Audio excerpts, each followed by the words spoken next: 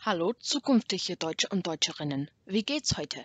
Ich spreche auf English. In last lesson we covered Wo wohnst du, didn't we? Well, today we're learning about the alphabet and German phonetics. This lesson's format will be slightly different due to what we are learning about. Doch zuerst eine kleine Zusammenfassung. But first, a little recap. Please do your normal with Heidi and Hans' conversation here. For the first gap, you have to put one specific answer. For the second, you can choose. The third has to be right according to what you put in your second answer. The fourth can only be one thing, and the same for the fifth. Have a go at this speaking activity. Okay, here is something you could have got. Heidi, hallo, wo wohnst du? Hans, ich wohne in Frankreich. Heidi, ah, also du bist Franzose. Hans, ja, ich bin. Und du? Wo wohnst du? Heidi, ich wohne in Indien. Hans, also du bist Indierin. Heidi, ja, ich bin. Hans, ich muss jetzt gehen, which by the way means I have to go now. Heidi, okay, auf Wiedersehen. Hans, bis morgen. So, for uh, this one, you did get to choose, and for the second one, which is where, Han, where Heidi in my example says, Du bist Franzose, meaning you are French, um, you it has to be appropriate according to this. So if Hans says, Ich wohne in England, for example, you can't say, Ah, also du bist Franzose. And the other thing is, if you said, Ich wohne in England, you can't then say, Ah, also du bist Englischerin, because he is a man, not a woman. uh, the Auf Wiedersehen uh, has to be the same, and also so does the Indierin. She is not an Indier because she is a woman, and she says she's from Indian, so you don't get to choose whether she's an Indierin, an Englisherin, a Franzosin, any of those. Anyway, let's carry on. Ah, missed! I lost the endings again. Could you sort it out for me? You did so well last time. Pause and copy down the verb, including the missing endings. Okay, here is what you should have got. The infinitive to live is wohnen. First person singular, ich wohne, with an e on the end. Second person singular is du wohnst, with an st on the end. The third person singular, er, sie, es wohnt, with a t on the end. The first person plural is wir wohnen, with an en on the end. The second person plural is ihr wohnt, with a t on the end. And the third person plural is sie wohnen, with an en on the end, just like the first person plural. Okay. Also, das Alphabet. So, the alphabet. Let's get learning it. So, this is the alphabet as English people know. Now, in German, there is an extra letter, but we'll talk about that in a bit. So, this is the alphabet A, B, C, D, E, F, G, H, I, J, K, L, M, N, O, P, Q, Q, R, S, T, U, V, W, X, Y, Z. It's the alphabet as we know it. So, first I'm going to uh, recite it to you with much less animation, as I can't sing, the way the Germans would. Then we'll talk about phonetics, which is the sound of letters and of pairs or groups of letters. Also, los geht's. A, B, C, D, E, F, G, H, I, J, K, L, M, N, O, P, Q, R, S, T, U, V, W, X, Y, Z, S, Z. That extra letter there is the Eszett, the strange one which I have highlighted in pink at the end. Like I said in a previous video, it can be interpreted as double S and should be pronounced as such. It is not a B and it is not just as it is a S. Or it can sometimes, in the case of heißen, the verb heißen, it can also be Z. But it is never a soft S and it's never ever a B. So, phonetics. The R, or A in our language, if followed by a strong consonant, is an A sound. So if it's followed by a consonant which is stressed, is A, die Katze. Yeah? If followed by a weak consonant or by no letter at all, it is an R, as in the word da. The B, or B in our language, is just B, B. C or C in our language is either pronounced as a k or a s. You may choose yourself where you think these rules apply. It is similar in English in terms of how it chooses it. Uh, however, the k is just slightly more common than the s. So if it's got a ck in it, like the German word for back, which is uh, Rücken, it is which is spelled R U with an umlaut, which we'll cover in a sec. C K E N, it would be Rücken, not Rusken. So it's a, it's similar in English in terms of the way it works there. D or D in our language is just D. It does not change at all. D is D is D, and it's the same in German. E or E in our language on its own is usually just a. However, this can sometimes change. If it's an EI, it's an I. If it's a you know, there are some exceptions to this rule, and there can be E sounds in German as well. F is just F. It's the same as D, it does not change at all. G or G in our language is G, but very rarely J. Uh, there's one word where the J sound definitely does exist in German, and that's orange, meaning orange but that sound is very, very rare in German, and even the letter J does not have that sound as you're about to find out. But first, ha, or H in our language, is a H when followed by a vowel, but silent when followed by a consonant. So the German word for a underground train is an U-Bahn, U-B-A-H-N, but because it's followed by a consonant, it's not U-Bahn, it's U-Bahn. U-Bahn. Uh, the letter E or I in our language is either I, E or I. Jot or J in our language is a Y sound. It is not a J.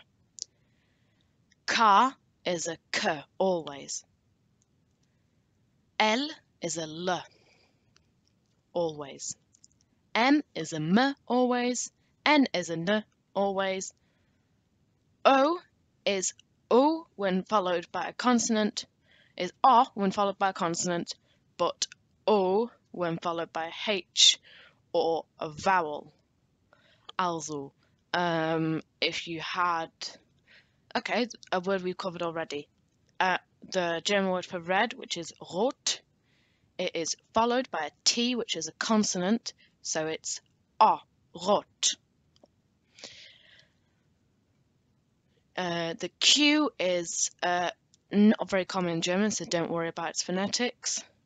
Um, R is either R or R. So it either um, stresses itself if it's stressed, or it's just a R.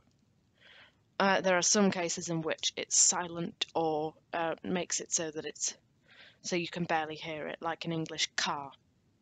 Um, so R is either R or just a R, or it can be silent. S, uh, depending on what letters it's with, S has interesting phonetics. It can just be an S, uh, but it is quite common if it's paired with other letters for it to make a different sound. So an SCH, SCH, that's worth remembering, SCH makes a sh sound. So it's not sk or sch, it's sh. S-C-H makes a sh sound, as in the word schön, meaning beautiful or nice. So an S paired with a T is st, st, stop, stoppen, yeah? An S paired with a P is sp, as in the German word for fun, Spaß, or the German word for funny, or one of the German words for funny, spesig. You know, it's a sp, not a sp. There are some exceptions, um, but most oftentimes SCH is a sh, SP is a sp, and ST is a st. Also, T, or T in our language, is T, but like I say, when it's paired with the S, it is st.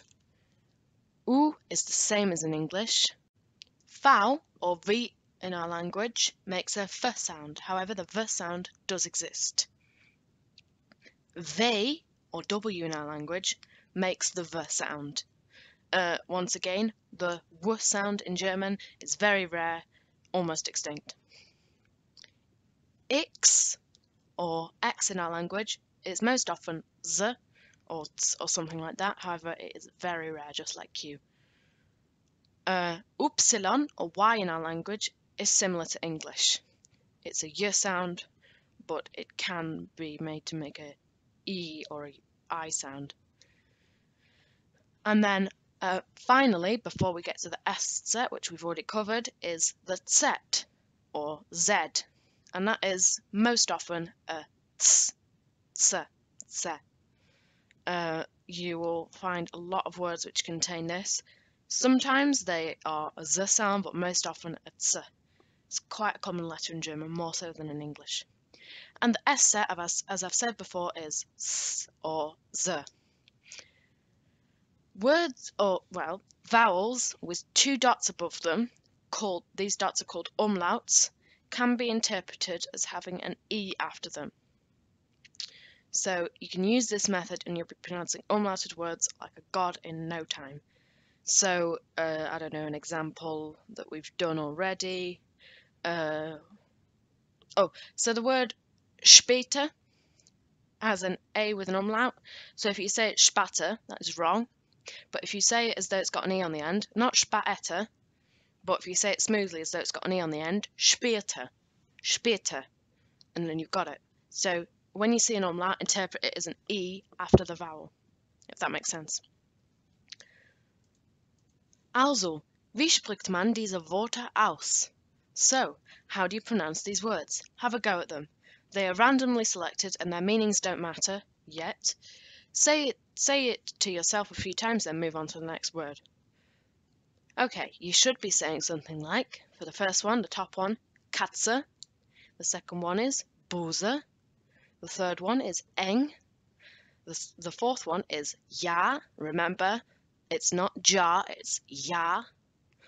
The fifth one, yes, the fifth one is nein, because I did mention an EI is an I sound. Nine. The sixth one, yes, the sixth one is dun. Dun. It's not done, it's dun. Remember, imagine that it's got an E after the U. And then the seventh one, do not call anybody this, it means ugly. It's quite an important word. We will come on to appearances soon. But don't call anyone hässlich. Hässlich.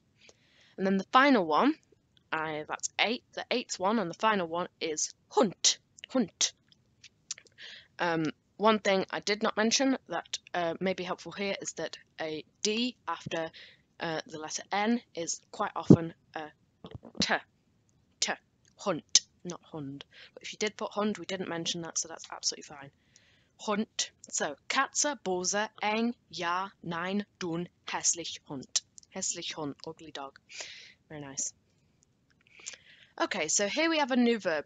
Today we've been covering phonetics, so we haven't really used a verb today as such, but there's one that has been appearing in our uh, fascinating and engaging and uh, page turning tales of Heidi and Hans and their exciting conversations, uh, and that is sagen, to say. So when they go sagt Heidi, sagt Hans, hopefully you'll be able to understand this after um, after we do this verb. So the infinitive to say is sagen. The first person singular is ich sage.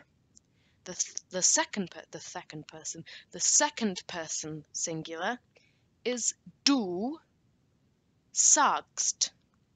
The third person singular is er, sie, es sagt with a T on the end. The first person plural is wir sagen. The second person plural is ihr sagt. The third person plural is sie sagen. Also, sagen, sage, sagst, sagt, sagen, sagt, sagen. Also.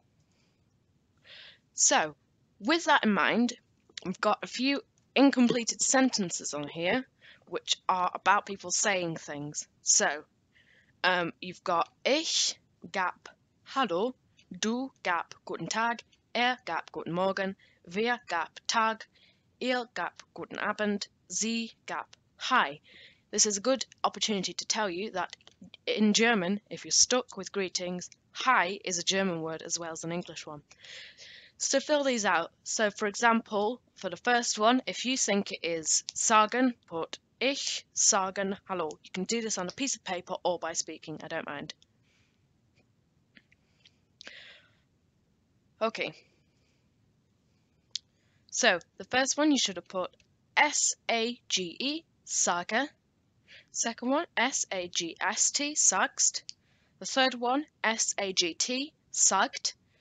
The fourth one, wir sagen, remember, ihr sagt, sie sagen hi. Also, ich sage Hallo, du sagst Guten Tag, er sagt Guten Morgen, wir sagen Tag, ihr sagt Guten Abend, sie, sag, sie sagen Hi. Those are the answers. So try and see if you can pronounce these longer words with the phonetics we've learned don't panic, just take the letters one by one and try and piece it into a word. So these are the words. They're a bit longer. Most of them are, well, all of them I think, are compound words. But if you use the phonetics rules we've learnt, you should be able to get something close to the uh, the pronunciation, the correct pronunciation. And phonetics is hard in any language, but uh, if you want any sort of comfort, know that English is no easier for people learning our language as it is for you now learning German phonetics. So you should have got something like, for the first one, Einkaufszentrum. I'll say it a bit slower. Einkaufszentrum. Einkaufszentrum. The second one should be Landwirtschaft. I'll say it a bit slower. Landwirtschaft. Landwirtschaft. Remember that SCH makes a sh sound, and the D after the N makes a T. So Landwirtschaft, Landwirtschaft. And then the next one makes use of the SP. Remember what SP is? It's not sp, it's sp. So if you forgot about that, you can have an, you can pause and have another go now. I'm going to say it now. Sprachabteilung. I'll say it a bit slower. Sprachabteilung. Okay, so that makes use of the SP one. So, so far we've seen our SCH, we've seen our uh, D after an N, and we've seen our Z making a TS sound. Okay, so the next one doesn't make use of any rules in particular, but see if you can pronounce it. And also, just so you know, the A makes an R sound just like in English. It is Debattensaal. Debattensaal. Then the next one. This makes use of the ST that we learnt. Remember, it's not a st, it's a st. Klebestift. Klebestift. It's quite a useful one. It is glue stick. Klebestift. And the last one makes use of the SCH again. Federtasche. Federtasche.